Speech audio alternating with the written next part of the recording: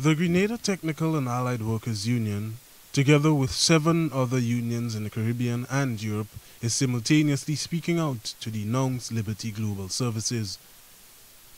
Liberty Global is one of the largest telecommunication brand in Europe, using outsourcing and mergers to lower labor standards without job security and no social security.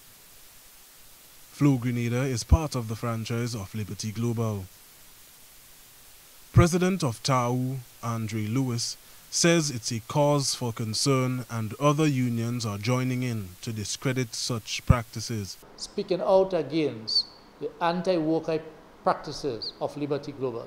So outsourcing, for instance, right, where the company will send home permanent workers and give that work to contract workers, which has lower working conditions, which is called precarious work must be denounced.